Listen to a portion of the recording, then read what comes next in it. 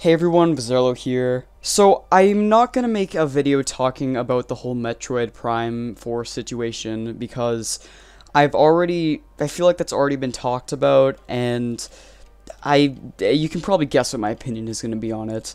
However, something that I do want to talk about that is related to Metroid Prime is the possibility of the Metroid Prime trilogy coming to the Nintendo Switch prior to Prime 4. Now, this is my first time making a video on this because really, this is actually one of the first times I've heard about this. It's basically, from what I've seen, it hasn't been as significant of a rumor as some other rumors about games being being ported to the Switch and trilogies and remasters and a whole bunch of other games that are going to be coming to the Switch. But I wanted to talk about this because I feel like for a lot of Metroid Prime fans, this is the perfect appetizer really because after Prime 4 was essentially majorly delayed, now, if you really are into the Metroid series, what are you going to have to play besides the original Metroid on the Nintendo Switch emulator that comes when you get the Nintendo Switch Online service? Like, literally, that's the only way to play a Metroid game on the Switch right now, unless you get, like, an indie Metroidvania sort of game like that. But anyway, I'm sort of getting off topic. What I really want to talk about is the Prime Trilogy rumor. So, essentially, it's been going around for a while now, but it's actually now starting to build up steam. So, Game Informer's senior editor, his name is Imran Khan. I might have just butchered his name entirely, but he had a compilation of tweets that went out, and they sort of. Well, you'll have to see them for yourself. And that's because when you really think about it, it actually is a very interesting idea of what Imran is proposing that Nintendo is doing to handle the entire Prime situation, essentially.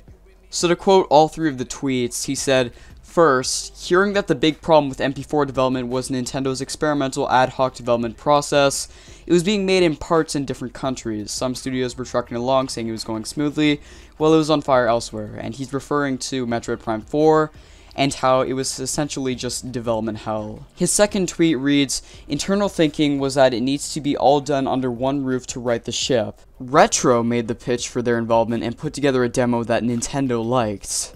Again, something that you wouldn't exactly expect, but sort of does make sense when you think about it. His third tweet then reads, Some clarification. I think the trilogy was just meant to be announced in December, not necessarily at the Game Awards. I haven't heard specifically it was supposed to be there, and I doubt it. So what he's saying is that, quote him, it's been long done, and Metroid Prime Trilogy, the one that, you know, released on the Wii, should be coming on the Switch soon. Now, if this is true, which it very well could not be true, this is probably the smartest decision for the company to make, because you have fans who are, let's just say, not too thrilled about the fact that a game that they were really looking forward to has been pushed back, say, three years. At the very least, it's going to be until 2021, 2022, until we're going to see Metroid Prime 4, and it could very well go to 2023.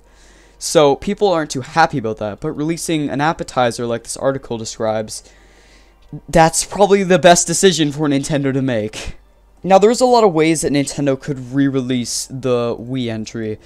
It's probably not going to be any of these. It's probably just going to be its own standalone title, but Nintendo could maybe have some Nintendo Switch Online integrated features into it. I don't mean like online, I mean like if you have Nintendo Switch Online, you maybe get a discount, or you just get like maybe access to one of the Prime games, like maybe Prime 1, and you can get the other ones for like a fee or something it's of course just an idea, but who knows? Maybe they'll go. Maybe Nintendo will go the way of Microsoft and make like a, like just like how Microsoft made that Halo Five Master Chief Collection game. Maybe you'll be able to pre-order Prime Four and get the Prime Metroid Prime trilogy for free or something like that.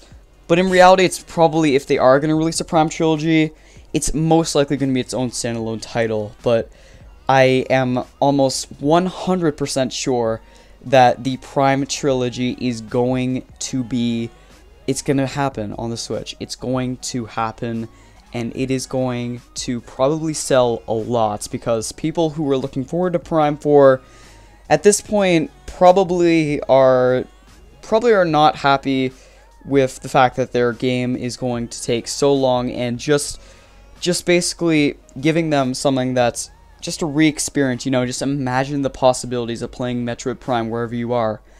And that will also build up more hype for Prime 4. And that could even possibly for Nintendo too. People like me who are not really invested in the Metroid series or haven't tried a Prime game, that could get them into the Prime series and get them to buy Prime 4. Because you have to also keep in mind that, because you also have to keep in mind that when the Wii version of the Metroid Prime trilogy came to the Wii U, its price was about $20. So that's going to be a huge incentive to a lot of people to get into the Metroid Prime series.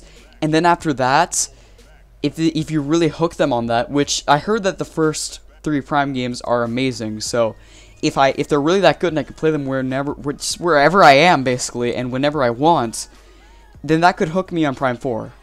However, this very well could not happen. It really depends. I do want it to happen, but in reality, who knows. But anyway, that is my opinion, and I hope you enjoyed this video. If you did, make sure to leave your opinion in the comments, and as always, see you